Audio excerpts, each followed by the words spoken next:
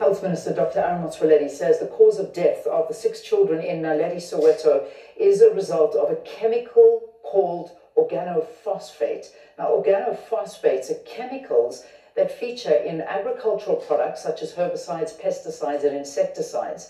This relates to the incident in Naledi where six children died after consuming snacks from a spaza shop. The incident has resulted in public outrage with local communities accusing foreign-owned spaza shops in townships of selling expired and unsafe food products. But to gain a better understanding of the situation, we are joined by the Deputy Director of Environmental Health at the Department of Health, Belinda uh, Makofola. Uh, thank you so much for joining us, and uh, it's good to have you with us on the program. Thanks for having me, Leah. So, while we understand from the press briefing yesterday and the update that's been given, there is currently no link between a specific spaza shop and the organophosphate that killed the six children. Are you able to track the supplier and charge them for illegally selling a banned substance? Good question, Leanne.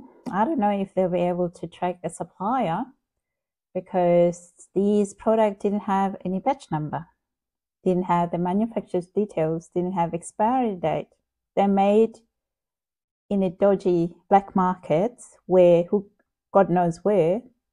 So be interesting to hear what she's going to say about this.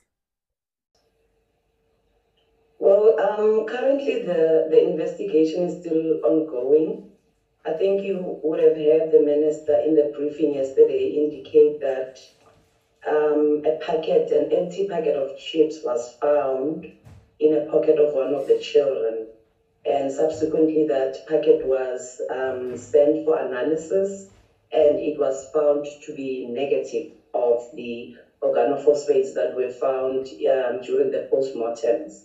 And previously to that, also, uh, the City of Joburg environmental practitioners also took uh, samples of chips um, that were found in the, the spaza shop in Naledi where allegedly the children bought, you know, the chips. And uh, the analysis also came back um, negative to organophosphates that were found in the bodies.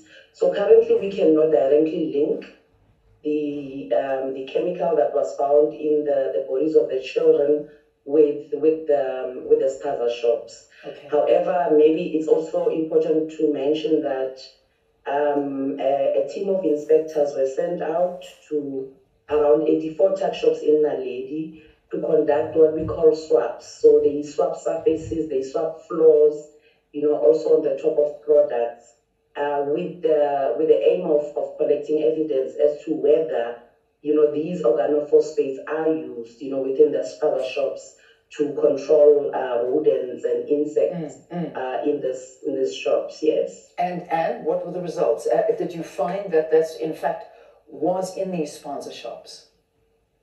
Uh, we are still uh, currently awaiting the, the um, analysis from so, so far, I haven't had anyone answering a simple question that is, who made these products? Who is the manufacturer? Can these environmental health practitioners who are meant to be giving credit that these people comply with the standards can they tell us why they would allow products to be on the shelf without batch number, expiry date, manufacturing details, without the labeling, history labeling requirement, and what's in the product? I would like to know that.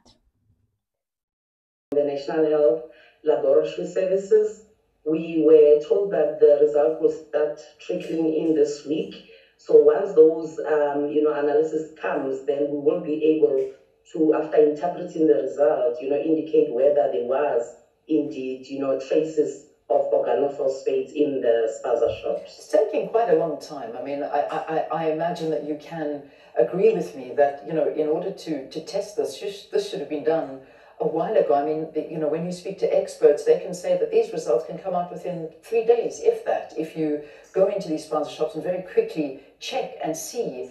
I mean, things may have been tampered with, they may have been changed. I mean, if that is the case, are, are, are, you, you know, are you, are you convinced that in fact that, that, that you will be able to get these results? Because it's, it's, a, it's quite a delay. Yeah, we are convinced, uh, Leanne, that we will be get, uh, getting the results because we are now closely working with the National Institute for Communicable Diseases. We're hoping that with their expertise, we'll be able to get to the, the bottom of this. Mm. Maybe also to mention that, um, you know, usually when there is a food poisoning case, uh, what will happen is that the, the health inspectors will go out to uh, investigate, and when investigating, they collect evidence of the food history, what um, you know the person could have eaten at what time, and so forth. And um, then the inspectors will then collect the samples of the foodstuffs. So um, you know, once we get the analysis of the foodstuffs, and to confirm that positively it is not what has caused you know the, the, the illness or in this case the deaths, then we'll have to you know, um, extend the, the investigation to other things as, as we've done with, with the with the surface swabs and the and the floss and trying to collect, you know, whether there is evidence of this, you know, um, organophosphates. In, in, I'm sorry for interrupting you. We've got such little time. In terms of, I mean, surely this is not the first time that health inspectors have gone into these spaza shops and tested for these substances because this seems to be a problem and it seems to be a common practice that it is used. So have you, in past, found that this is present in the spaza shops? No, we cannot conclusively say that we found this. Um, what we found is the indication of red droppings to indicate that is there is a red problem. But so she's saying that they found that there is a rat problems in the spaza shops. So if there is a rat problems, is that not a health risk? So if you're inspector, you see a rat um, issue that there may be some rats, why don't you ask the question? I can see you've got rats. They're health risk rats. Anybody knows that. They can go to the food and, you know, spread germs and all of that in your food. So have they not asked how they're managing the rats? Have they called the pet, the rats, you know, pets uh, inspectors to help them with that? So what's the question did, do they ask when they see this? See, see how incompetent these people are? Are you guys getting your money's worth here with these people? We haven't found um, any evidence as yet, and we are hoping, you know, this operation um, that we've just done will, will, will, will give us an indication as to whether our suspicions are correct. Yeah, okay, so there's no evidence at this point that it has been found before in other spaza shops. But is it a common practice? Because I mean, when you speak to a lot of people that do live in the townships and do use these things, that this is a common practice that people people use this. It, it, it almost is looks like a black pepper, um, and it can be mistaken for that, this kind of substance. And unfortunately, it is fatal. If, if a human consumes this, it is fatal. So you have found it in their bodies. Where would they have purchased this from? Um, yes, yes, that's a good question, Leanne. Where would they have purchased this one from? This um, agriculture schedule, Terbufos is schedule. And so when we mean schedule, it means that a person who is going to use it must be trained and also it cannot be found in any normal shops. Um, it has to be bought from the chemist, and the chemist must be licensed, and the person who buys it must show the, that they're registered to carry and they have training to use it. They have all the skills and knowledge how to use it. It's be like going to buy a medicine at a pharmacy. You know, you have to bring up the script and the pharmacy give you a medicine. This is more like the same thing here. You go to the chemist, you agriculturist, you need to produce your licensing before they hand over this. So, I mean, the questioning, I like this questioning. And she said that they have not seen any indication that these people are using chemicals, but the her colleague said that a while ago.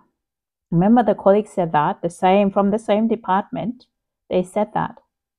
And even when the newsroom, um, one of the um, reporter that went to the shop was showing us that there were chemical next to food. So what is she on about? You can see see your people, see the ANC people. These are ANC appointee stuff. See, yeah, they're all, you know, appointee, appointed by ANC, appointed by whatever, but they're just not competent. That's my worry, is that they're not competent. Huh? Why? Why are you having people who are so incompetent in a role where you have so much high unemployment? Could be someone young person who's very motivated, who can be trained, can do a good job. Why are they these people so looking like they just so lost in their own career? I mean, I don't know. Uh, that's listening in, but I'm getting a bit annoyed with this interview already, getting a bit annoyed. If we're saying that it's never been found in spaza shops, where do they get it from, the, the, the residents in the area? Yeah, that, that is a good question. And with the, I think maybe to mention that with the operations, um, as people are interviewed as to whether do you have a rat problem, yes. What do you use to control the rat problem? And they, you know, uh, been able to indicate that no, we buy this in the informal vendors in the taxi ranks, and when following up those leads, you know, it led to uh, bigger, you know, wholesalers, you know, that were really found to be uh, selling this stuff. So it, it, I think it, it's, it's also important to mention, as you, you said, Leanne, that uh, this uh, product or these chemicals are you know not only used you know in the spaza shops as we suspect but you know the, the, the, the households around the areas as well. You know we found community community members that have you know admitted to say no we do use this poison and the reason why we go for this one even though we know it's illegal is because it's effective. You know, uh, yeah. the ones that we are buying legally from the you know the shelves are not doing the work. So that that that is what we've seen. That you know households also you know are using uh, these um, these pesticides. Yeah, which is which is a big problem because that's where. Um, obviously, there's there's there's a major issue if anyone consumes it. I mean, so many of these have been deemed illegal um, except for, I think it's Terbufos. Is that correct? That's the only one at this point that isn't illegal. So the one that was found in the children's body, this is illegal and it should never, ever even be in circulation. Is, is, am I correct in saying that?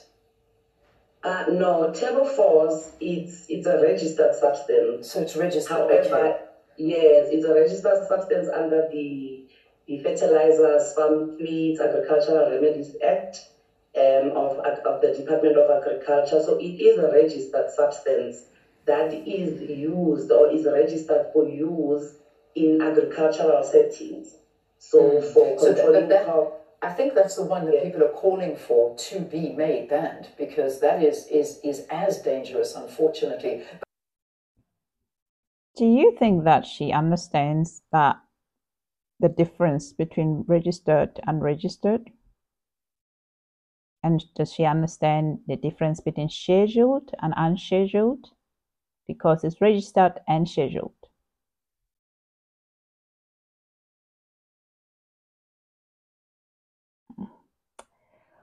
Okay, let's listen. But, but we, we can't get into that too much. But I, I want to ask you because the, the idea is we need to find the source of this. The fact that these are circulating, there is a massive rodent problem. We know this. It's it, it, it appears to be out of hand. And as you say, you are seeing this wherever you are going, whether it be in the shops, in uh, the residences, on the streets, everywhere. Now, regarding the four people who were arrested for possessing this illegal pesticide and other unregistered products, are they cooperating with the authorities um, to track down the source of, of these illegal and restricted chemicals? Well, currently, the, the you know, um, we, we've, we've heard from reports from the SAPS that, you know, some of them were released on bail on admission of guilt yeah. um, for selling the pesticides. Um, however, uh, investigations are still underway as to where is their main supplier. They, they seem like main suppliers in the Naledi area, but they are definitely getting their supplies from a much bigger, you know, fish, if I may use that word.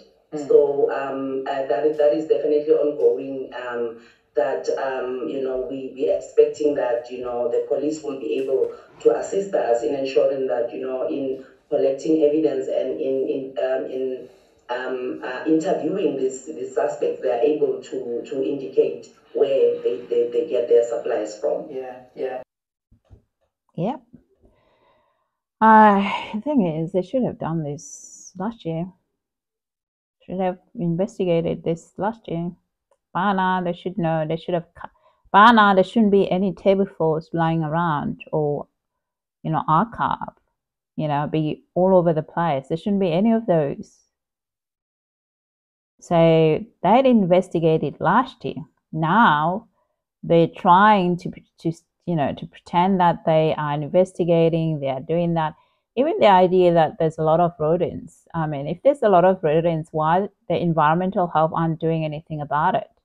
And most of these rodents are due to the people that live there anyway. It's because they don't clean. They don't clean.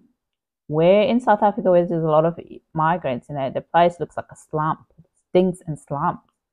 And even the place that used to be beautiful, when you find that there's a lot of migrants in that place that lives in there, that area tends to becoming a slump. Look at Sunnyside. Sunnyside, one example of a slump area that was beautiful, metropolitan, urban area. It's now a slump. They don't clean. So if you don't clean um, your environment, that is, and you're selling food, there's going to be a lot of rats. It's going to be rats everywhere. So what are they doing about it? Because they're meant to be environmental health, looking at the environment. Yep. That is also their responsibility as well in that area, managing that, making sure people clean, making sure these people don't urinate on the in the street.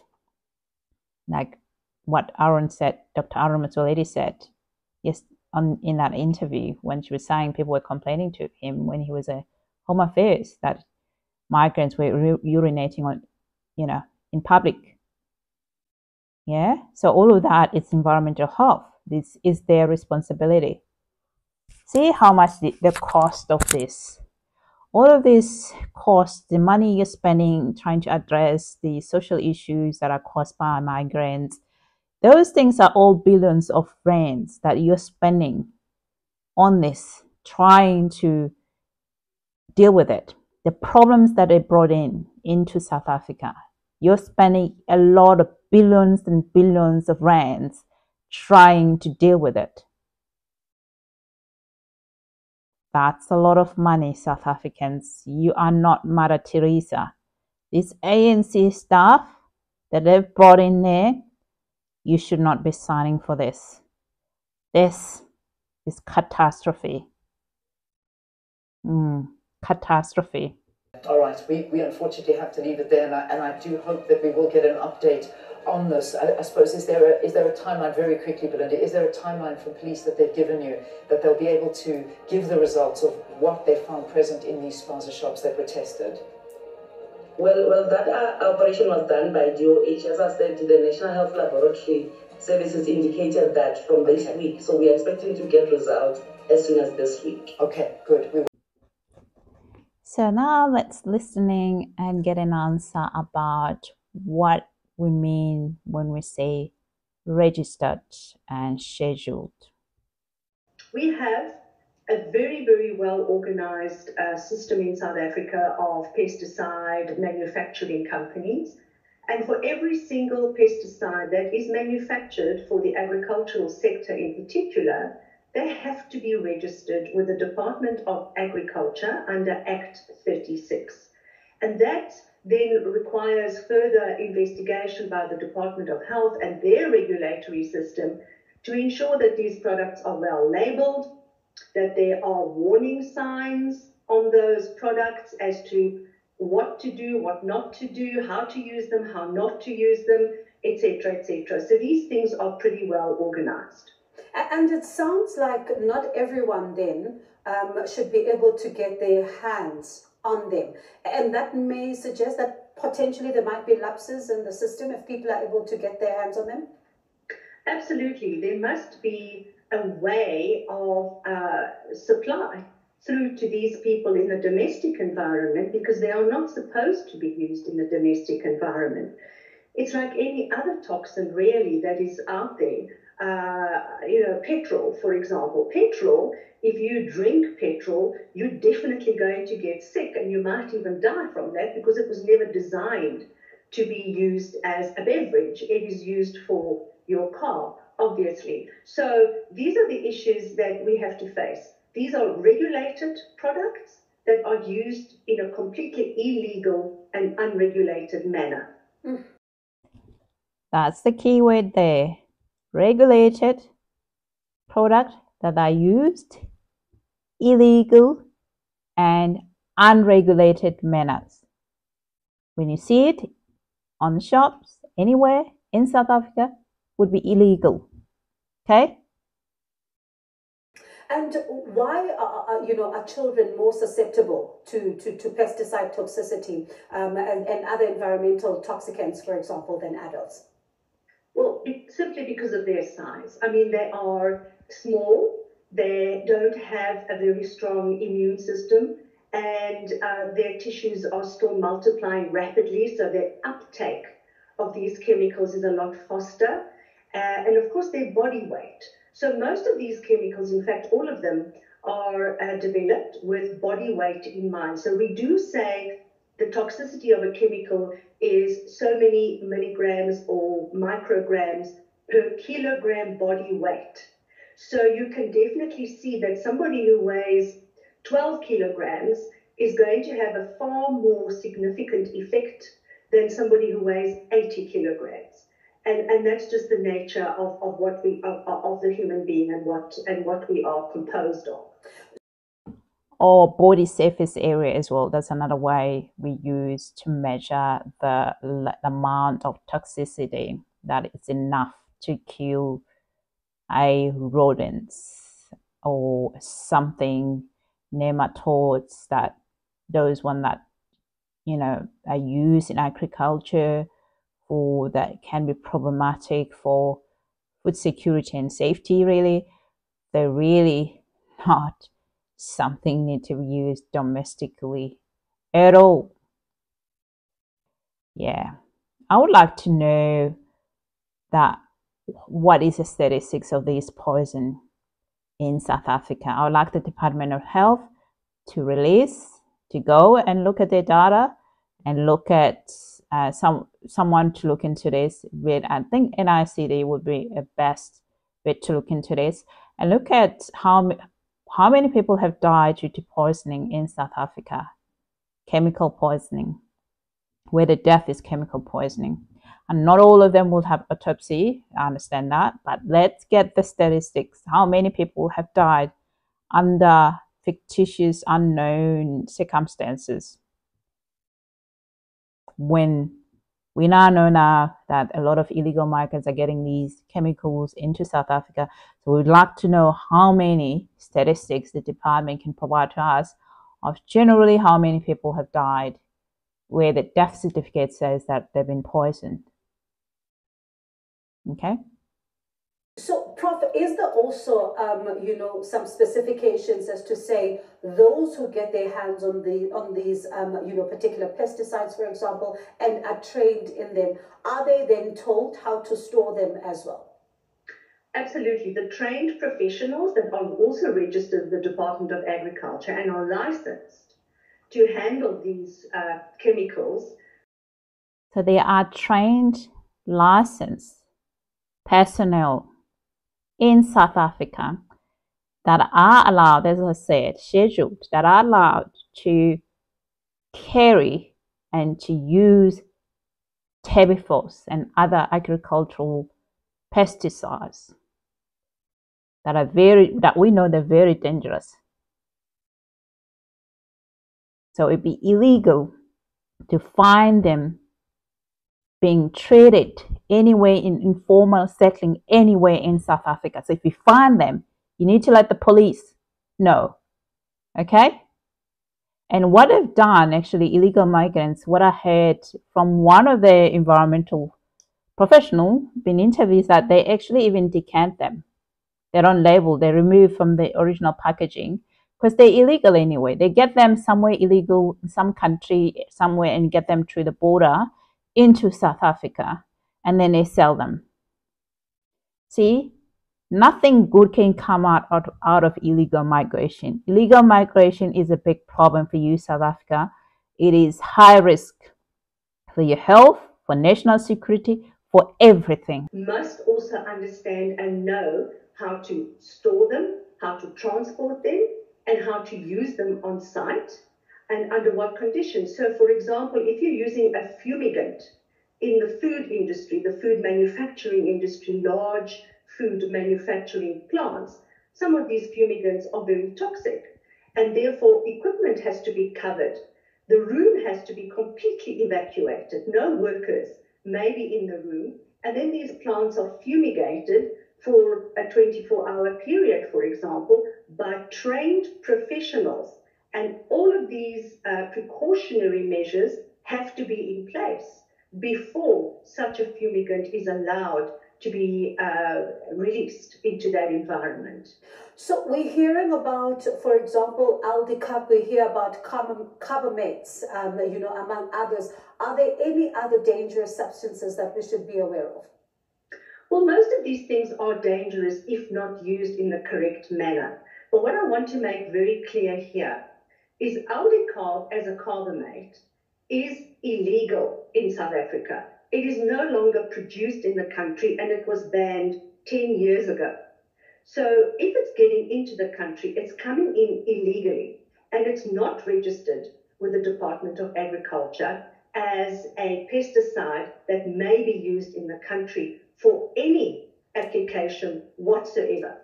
Organophosphates, on the other hand, are registered and permitted in this country, as in many, many other countries in the world, under specific conditions uh, and used by specific uh, pra- uh, practitioners that are able to use these products in the correct manner. And that's the differentiation I really want to make here. So, so and, Prof, pardon me, it should concern us then that we're hearing of cases where people have, you know, are said to have consumed Aldicarb. Absolutely, it is. It is a highly toxic material, and uh, you only need a, about a, a tenth of a teaspoon to actually hurt an adult very, very badly and potentially cause death quite quickly. So we mustn't discount the fact that because we found, or the Department of Health found organophosphates in the in the uh, autopsy results of these uh, tragically tragic children who died from this uh, uh pesticide, we mustn't discount the fact that Aldicarb is still out there. It is still extremely toxic and uh, I would I would hate to have the focus removed from Aldicarb and only focused on organophosphates because the, the one and a half kilograms of Aldicarb that was confiscated from a mall in Johannesburg is extremely, extremely concerning. You should be able to smell that these organophosphates are in the product and then avoid eating those products completely if they smell strange. There's no other way of knowing whether an organophosphate is in a food product because you can't see it. You can't necessarily, uh, well, you could probably taste it if it smells bad, but by that time, you might have already ingested some of it, and depending on the concentration that you are ingesting, it might actually already be hurting you and causing illness. So, Prof, how then do, do we know, um, you know, if it's food poisoning or poisoning? Well, it, it's a little bit of a gray area. This, you know, food-borne disease is usually caused by microorganisms of various kinds, including bacteria, viruses, fungi, their products, their toxins that they might produce in food. But we also understand that chemical contamination can also be regarded as foodborne disease. The difference here is that this chemical should never have been in the environment of the food. It should never have been stored or used in any way in the environment. So this is more what we would call an adulteration of food. In other words, something that should never have been there, but for this illegal reason, it is there. And therefore, we regard it more as an adulteration of food rather than true food poisoning. Now, when it comes then to, of course, some of those who are concerned, who are saying that, um, you know, tonight, like Nkosekwana, for example, who says, I think they use these blends of pesticides to repel rodents in their warehouses. And this is an indictment uh, to the Department of Health to deploy their health inspectors to, to both spaza shops and the warehouses. Some are saying that um, if you are using this to repel rodents, you, you should also be taught how to do this correctly. Yes, you should, but you shouldn't be using it in the first place to repel rodents. You shouldn't be using any of these chemicals to kill any rodents. There are rodents products that are available in supermarkets. And it is up to the government to ensure that these products are not available in anywhere in South Africa without any license trained personnel who's going to use them in appropriate way in the agricultural environment. And that's it. And who's responsible for that? That is the government. If they know that that lady said to us or that the people in the area that were using these, they were telling them they were using certain chemicals to kill the rodents. So why didn't they investigate it further last year? And clean up the street then. This is how ANC works. All everybody they put in ANC does this stuff. This stuff. Yeah? And DA is involved in here. The Minister of Agriculture is John. John van Steenhuisen is the Minister of Agriculture. Where is he? You ask. Ask the same question. Where is he? In a domestic environment, including a small spaza shop. We must also just be clear that the environmental health practitioners cannot be there every single day or, every, or once a week or even once a month. So they will inspect and then, uh, according to Regulation 638, which is your basic food hygiene, transportation, and storage regulation. And if they see things are looking good, then they will uh, issue the so-called certificate of acceptability. But then the onus remains on the owner of the store to keep aware and, and to comply with all the best food safety practices revolving around manufacturing of food, packing of food, even repacking if they buy food in bulk and then repack it into smaller packs. First of all, those smaller packs will probably be unlabeled. But if they are going to be contaminated because there's an illegal pesticide in the environment, then that is very little that what the environmental health practitioner can do at that point in time. The only thing they can do is investigate together with the police and have a concerted effort to cut this the head of the snake off completely of this supply chain. So they have to go back and find out how is these how are these products getting into these domestic environments and stop that from happening and have to go back and look at how does algae, aldicarb, which is an illegal pesticide, get into the country in the first place and cut that supply chain off completely. Yeah, so that's very important that they actually provide. I feel like they need to provide the South African uh, community, in that community, the number they need to ring. If you visit a spaza shop in that community, you find that it smells horrible, things aren't fresh. You need to ring be able to call a number and to make a complaint?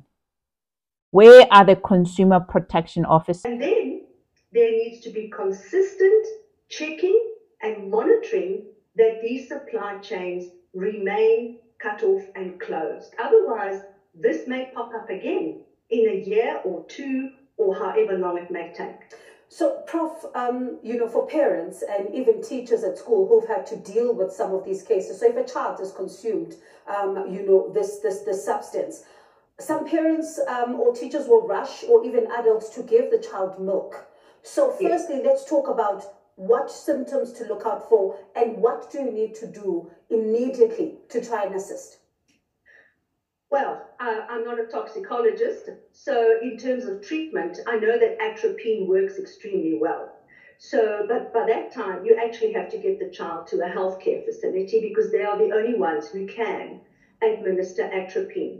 So, the symptoms to look out for for this type of chemical poisoning is nausea, diarrhea, excessive vomiting, and foaming of the mouth and any blue turning blue because that means that oxygen is cut off from the system. Uh, there is a point, I have to say, of no return. If the child gets to the healthcare facility too late, atropine can be administered, but it most likely will not help if the nervous system has started to shut down.